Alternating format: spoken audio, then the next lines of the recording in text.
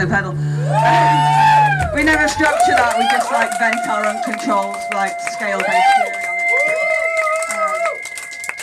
it. Um, we're from Manchester, and we're going to sing a song about Manchester and Salford, which is probably going to mean nothing to you, but it's about buses and all the strange people that.